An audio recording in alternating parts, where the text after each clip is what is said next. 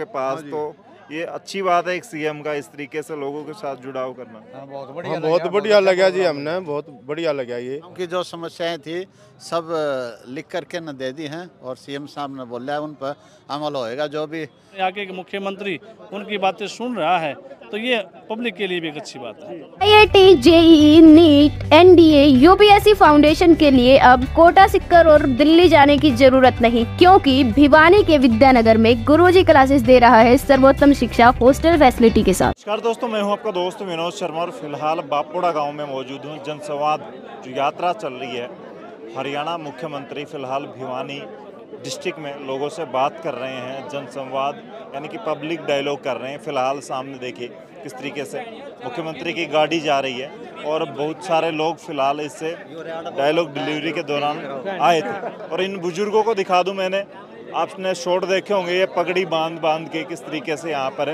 पहुँचे हैं। पहले तो मैं वकील साहब से ही बात कर लेता हूँ।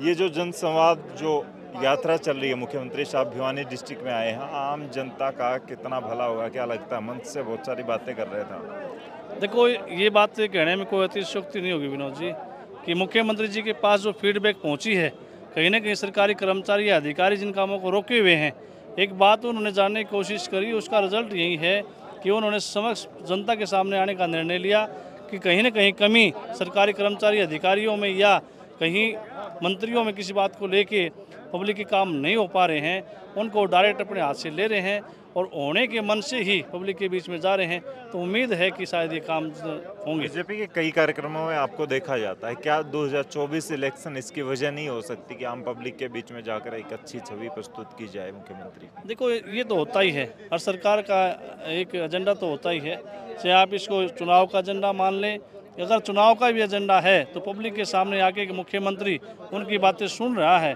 तो ये पब्लिक के लिए भी एक अच्छी बात है। रविंद्र बापोड़ा यहाँ मौजूद हैं और धन्यवाद कर रहे हैं। पब्लिक डायलॉग, पब्लिक के साथ मीटिंग मुख्यमंत्री साहब की और भिवानी के बापोड़ा गाँव में आज मुख्यमंत्री साहब को आपने परशुराम की मूर्ति के नीचे यहाँ पर लोगों को इकट्ठा किया, उनको बुलाया। क्या लगता है जन समस्या सोल्यूशन होगा? आज माननीय मुख्यमंत्री जी का जिस प्रकार से दो दिन से जनसंवाद कार्यक्रम भिवानी क्षेत्र के अंदर चल रहा है, उसी क्षेत्र के अंदर, उसी कार्यक्रम के आयोजन के आगाज़ में आज बापोड़ा गाँव के अंदर कार्यक्रम था। और माननीय मुख्यमंत्री जी ने भगवान परशुराम के चरणों में पुष्प अर्पित करते हुए उनसे आशीर्वाद लेकर के आज इस यात्रा को यहाँ से आगे बढ़ाने का काम किया है। और हमें पूरी आशा ही नहीं, पूरा विश्वास है माननीय मुख्यमंत्री जी से, क्योंकि हमने पीछे भी जो अकेले बापोड़ा की नहीं तुसाम हल्के की जितनी भी मांगे हमने अपनी तरफ़ से दी हैं, वो सब मांगे उन्होंने पूर्ण करने का पहले भी काम किया है। और अब जितनी मांगे मेरे गाँव से जितनी भी जाएँगी, उन सब मांगों को माननीय मुख्यमंत्री जी बहुत जल्द पूरा करने का काम करेंगे। अच्छा लोग काफ़ी शामिल हुए थे और बापोड़ा में कई कार्यक्रम थे। रविंद्र बापोड़ा 2019 में भी चर्चाओं में थे रथ यात्रा मुख्य मुख्यमंत्री साहब लेकर के निकले थे तब भी लोग नब्ज टटोलने के लिए अब फिर दोबारा से निकले इतने सारे लोग शामिल कर लिए। दिमाग में अब वही चल रहा है कि 2024 में तो कम से कम विश्वास करेगी बीजेपी और टिकट मिल जाएगी। या अब जो ये भीड़ आई है इन लोगों की समस्याएँ लोगों तक मुख्यमंत्री साहब तक पहुंचाएँगे तो उसका बेनिफिट मिलेगा। मुख्यमंत्री साहब की नज़र में आएँगे आने वाले वक्त में 2024 में कुछ अच्छा हो सकता है। देखिए जब भी कोई कार्यक्रम होता है, ये ज़रूरी नहीं है कि वो किसी टिकट के लिए कार्यक्रम किया जाए। जब आदमी राजनीति के अंदर आता है तो उसके मन में कोई ना कोई भावना ज़रूर रहती है, उसका कोई ना कोई लक्ष्य ज़रूर रहता है। रविंद्र का लक्ष्य अकेले चुनाव लड़ना नहीं है। मेरा लक्ष्य मेरे तुषाम हल्के के जितने भी साथी हैं, जितने भी गाँव लगते हैं, साथ में मेरा गाँव, उन सब के जितने भी जो प्रमुख काम है जितने मेरे लायक हैं, जितने मेरे माध्यम से हो सकते हैं, मैं उनको करवाने का प्रयास करता हूँ। उसी के माध्यम से मैं ये बार बार साल छः महीने, डेढ़ साल में कोई ना कोई कार्यक्रम रचता रहता हूँ, किसी में कोई सांसद, किसी में कोई ना कोई मंत्री। आज ये हमारा सौभाग्य है कि माननीय मुख्यमंत्री जी आज हमारे गाँव में आए। तो ये ज़रूरी नहीं है कि चुनाव के लिए ही कोई कार्यक्रम किए जाएँ। मैं कभी भी चुनाव के लिए कोई कार्यक्रम नहीं करता।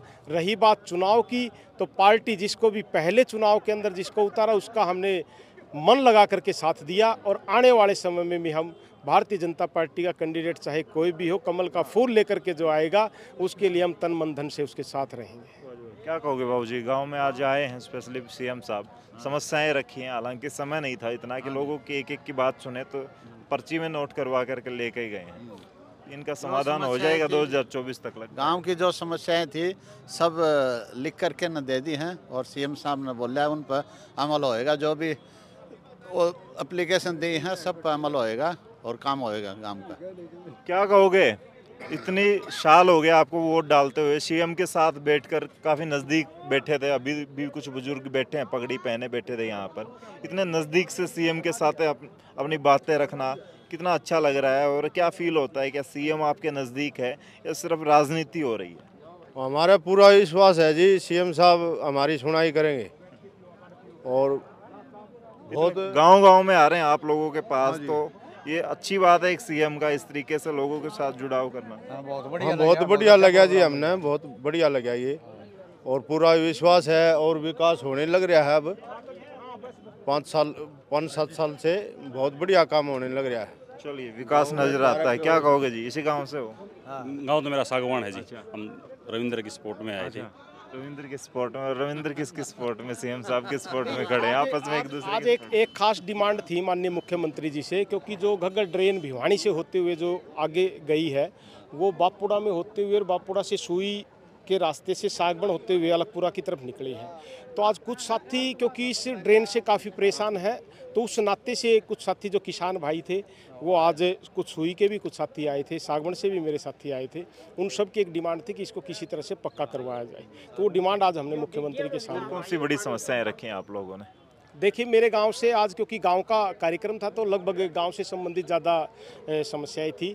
एक तो हमने यहाँ से एक स्टेडियम की मांग की है, क्योंकि आज से जब माननीय मुख्यमंत्री जी हुड्डा उस टाइम मुख्यमंत्री थे, उस समय मेरे गाँव ने साढ़े दस एकड़ ज़मीन शाही सेंटर के लिए दी थी और उन्होंने मुख्यमंत्री की घोषणा भी की थी। लेकिन उसके अंदर ना तो वो आज तक हमारा शाही सेंटर बन पाया, ना उसके कारण से हमारा कोई स्टेडियम बन पाया। एक बात और आपसे पूछूँगा। सीएम साहब आए तब उन्होंने चर्चा की कि बापोड़ा में चार पाँच प्रोग्राम कर रखे हैं। बहुत से गाँवों में एक एक प्रोग्राम है क्योंकि इतने सारा टाइम भी नहीं होता एक सीएम के पास। दूसरी तरफ़ वो लोगों पर लोग आरोप लगाते रहे सीएम साहब पर कि तोड़ने का काम करते हैं बीजेपी तोड़ने का काम करती है जाती है धार्मिक रूप में बांटने का काम करती है। यहाँ सीएम साहब कह रहे थे कि आप लोग एक हो और जब तक एक नहीं हो गया हरियाणवी एक और मतलब वो नारा भी उन्होंने दिया था, हरियाणा एक हरियाणवी एक का। तो क्या कहेंगे सीएम साहब सच में जोड़ना चाह रहे हैं और यहाँ पर आपके गाँव, इसी गाँव से हैं आप तो क्या दिक्कत आई इस तरह की स्पेशली बोलना भी पड़ा? नहीं, देखिए क्या था कि माननीय मुख्यमंत्री जी इतने लोकप्रिय हैं कि हर कोई चाहता है कि हमारे क्षेत्र के अंदर उनका कार्यक्रम हो। अब बड़ा गाँव है, दस हज़ार वोट है, पच्चीस हज़ार की आबादी है तो एक नेचुरली बात फिर उन्होंने स्वयं ऊपर से जो कार्यक्रम जैसे एक जो शहीद परिवार से उनके मिलने का कार्यक्रम एक अलग ही था क्योंकि उसके अंदर कोई जनता नहीं थी। दूसरा सैनिकों के साथ वार्तालाप थी पूर्व सैनिकों के साथ। तो उनके साथ भी वो वार्तालाप का कार्यक्रम ऊपर से ही आया था। अलग अलग जोन में बांट लिया था। हाँ नहीं जो कार्यक्रम सैनिकों का था वो सैनिकों के साथ वार्ता की है। जो शहीद परिवार के साथ मिलना था दो कार्यक्रम तो वही थे। रही बात दो संवाद के कार्यक्रम तो दो संवाद के कार्यक्रम नहीं, संवाद का कार्यक्रम एक ही आया था और ये कार्यक्रम एक ही सार्वजनिक रूप से एक ही किया गया है। अब वहाँ पर क्या है कि जो नई धर्मशाला बनाई गई है, उस धर्मशाला के उद्घाटन के लिए या आज उस धर्मशाला का उद्घाटन किया है इसलिए वहाँ पर मुख्यमंत्री जी का चाय और खाने का प्रोग्राम अच्छा बुज़ुर्ग बड़े सुंदर से लग रहे थे आपने पगड़ियाँ पहना करके बिठा रखा था और उनके हाथों से आपने गुलाब भेंट करवाए हैं मुख्यमंत्री को। ये कहाँ से आइडिया जाते रविंद्र बाबू बुज़ुर्ग हमारे लिए सब कुछ हैं यही हमारे माता पिता है। उन्हीं के आशीर्वाद से हम आगे बढ़ने का काम करते हैं और हम हम- हमने अपनी संस्कृति को ही आगे बढ़ाने का काम किया। और रही बात पगड़ी की तो गाँव की लोगों की शान है। ये तो अपने देश के अंदर, ग्रामीण क्षेत्र के अंदर हर आदमी पगड़ी पहनने का एक उसका अधिकार भी है और वो अपना, अपने आप में पगड़ी पहन करके गौरवान्वित महसूस करता है। तो आज हमने एक नया चलन किया कि मुख्यमंत्री जी और मंत्रियों को तो सब पगड़ी पहनाते हैं।